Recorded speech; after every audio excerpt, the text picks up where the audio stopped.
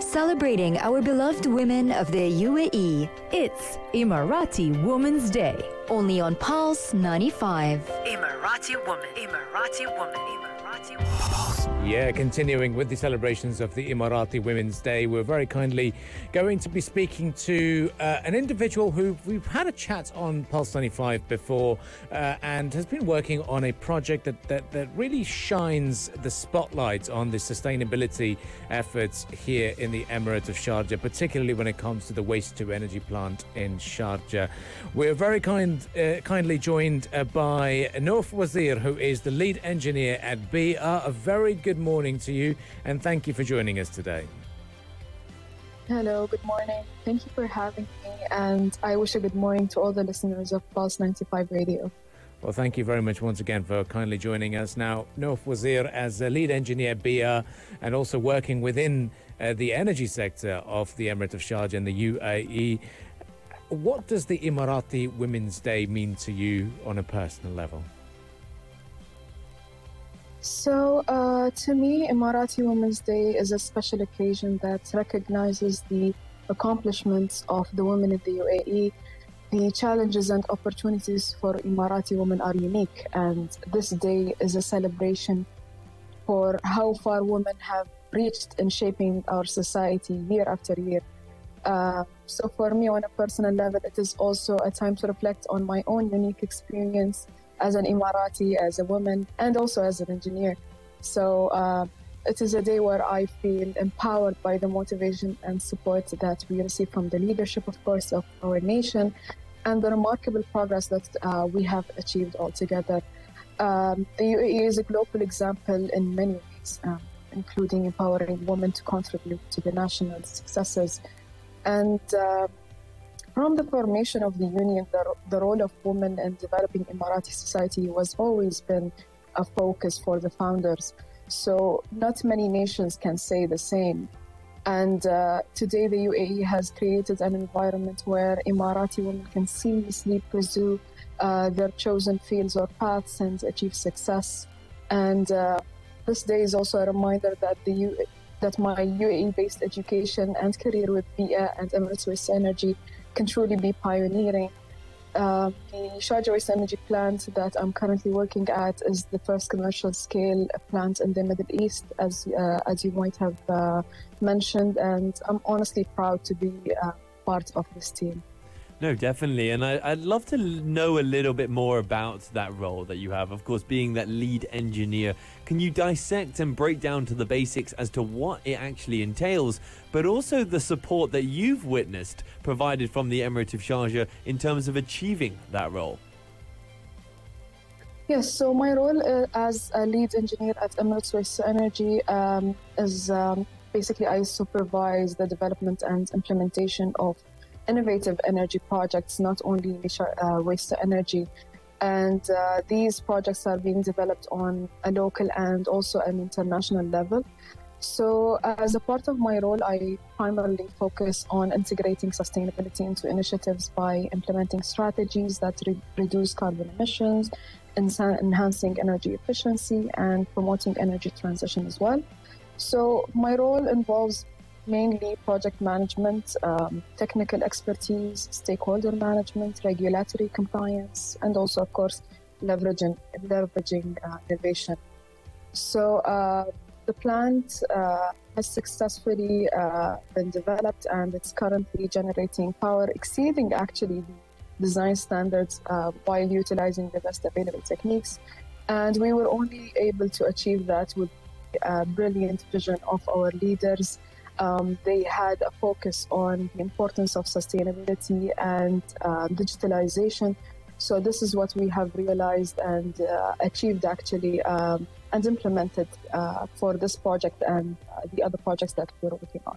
Amazing. Now, if you, a lot of listeners out there, and a lot of young Emirati women would be listening to this conversation and thinking, wow, the Emirates waste to energy plants are now, we've been given access to Nof Wazir through this conversation. Uh, if you could explain to them, firstly, how does this waste to energy work? Know, how, how do we, how are we generating power with the, with the, the waste that we're recycling? And um, if you would like to inspire them to pursue a career in the energy sector as well, what would you say to them? So, uh, to put to be put simply, and I'm trying to avoid being too technical Yeah. about this. Um, basically, uh, Beeah receives all the waste that uh, Sharjah is generating. So the general waste gets sent to a specific plant that we have in uh, Beeah Waste Management Complex. This plant is designed to segregate uh, the recyclers out of the general waste. So this is the first step. We are taking out all the recyclables that have value from the waste, and then whatever cannot be recycled or it's, is difficult to recycle to be recycled is sent to our plant. So basically, the output of that plant is the input to our plant, and this is where we actually uh, are implementing circular economy. We're trying our best to recycle everything that is exiting every single plant that we have here in Beeah. So, uh, to be put simply, we're just uh, taking the waste and then sending it into a combustion chamber to be burned. And then the whole idea of the plant is to basically use that heat that is generated by the combustion. So that heat uh, basically uh, heats up some water inside some water pipes, and then water will turn into superheated steam. The steam will in turn uh, run a steam turbine. So, to be put simply, this is how we generate electricity. Uh, so, I think this project has been a significant one for Sharjah, and uh, my advice for, for girls that is that um, it's very interesting to enter a field, uh, a STEM field like this one, and uh, I think most most girls are uh, shaped in a way that steers away from STEM fields. So I think this has been what's happening around the years, but we have reached a point in the UAE and in the world where we are seeing much more contribution of women, and, and we're showing we're seeing their actual capabilities when it comes to different fields. So I think uh, it's a wonderful uh, opportunity to work in such uh, a field and to study such a field as well. No, I completely agree. And I think not just here in the UAE, but across the globe, the engineering sector as a whole has been male dominated for many, many years. So hearing your story, hearing your journey is truly, truly inspiring. I want to learn a little bit more about what's going on at, with Beeah because, yes, of course, we just highlighted the waste to energy plant, but that's not all that's happening. We've got the waste to hydrogen plant, and we know about the huge potential that hydrogen has as a form of energy. Can you talk to us a little bit about this plant and also potentially about the potential hydrogen might have in the future? Yes, so hydrogen is actually a very big topic uh, currently in renewables. Um, uh, you would hear about lots of many hydrogen projects, and we have announced in COP28 that we are uh, developing a waste to hydrogen project. So uh, this project uh, also uh, basically transforms waste into hydrogen using another technology that is called gasification. So the basic idea is that we're going to turn waste into hydrogen and then use that hydrogen um, for many different purposes. So this is the idea uh, in summary. Uh, but we're not only working on waste to hydrogen, we're also working on uh, solar projects as well. Uh, so we have also announced in COP28 um, the solar landfill project, which would be the first solar landfill project in uh, in the UAE. Um, it's also a very exciting one. It's going to generate 120 megawatts of energy. So there are honestly there are a lot of things that we're working on right now, and uh, honestly the sky is the, the limit. Like every single day we uh, we get a new opportunity, uh, and all of that is based on the success of our first project, which is the Sharjah Waste Energy, which was honestly a big challenge because it's it was it is it still is the first uh, commercial waste energy in the region and we faced a lot of challenges to to develop it so after the success of this project now um, we're working on a lot of other projects Definitely. I think there's lots to look forward to and lots to hear uh, from Beeah's perspective as well. Uh, now, going back to Nouf Wazir as an individual, uh, what's your journey been like, you know, from your time at university to, to secure a role as a lead engineer? And who has uh, been your role model when you were growing up? Yes so uh, my journey uh, has been honestly a rewarding one um, I started my career here eight years ago as wow. a graduate trainee. Uh, and this gave me the opportunity to explore different areas of the business. And honestly, on a personal level, um, I'm born and raised in Sharjah, and I remember when I was in college, the first time I heard about Beeah, I, I was telling my friends that I have to work at this company. I was so inspired. And alhamdulillah, I got the opportunity uh, to be part of Beeah, and I honestly uh, developed my skills a lot along the years.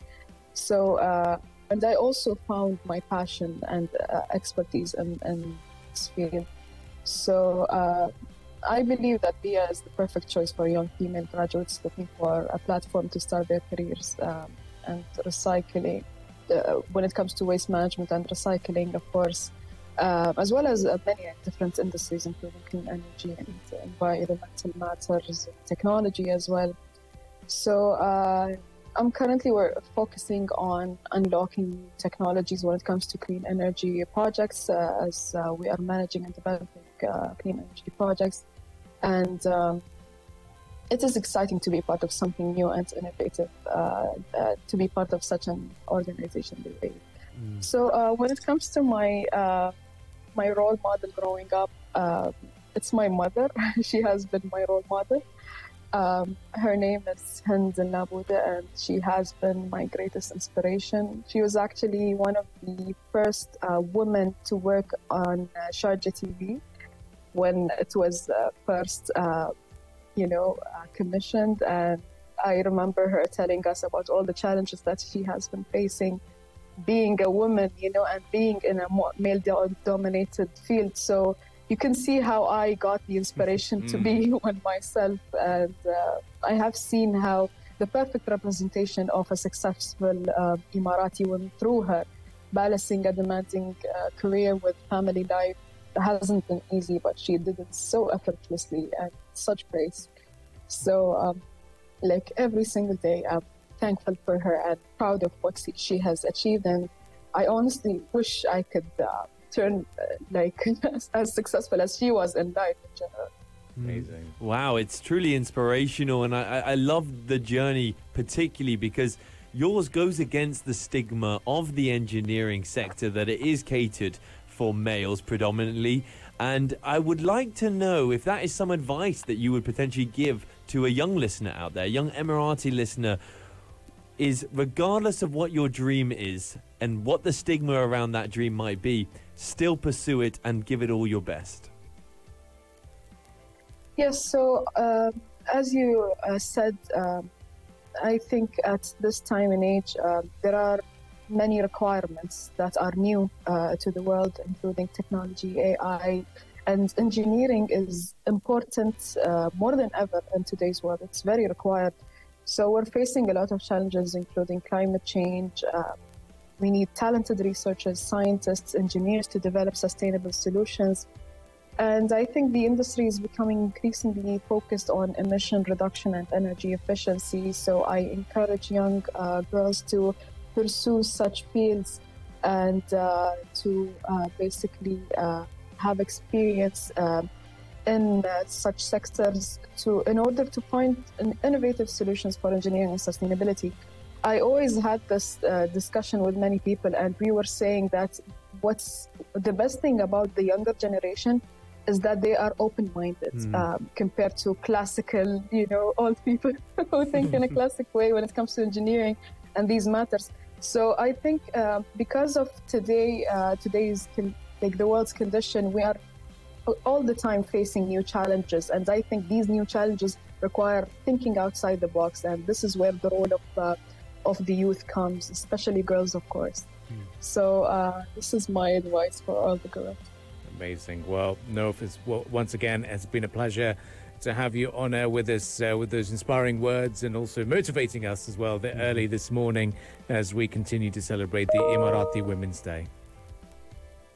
Thank you so much. Thank you for having Absolutely. Ladies and gentlemen, if you'd like to catch that conversation, you can do as a podcast. Just head online to SoundCloud, Apple Podcast, and Spotify.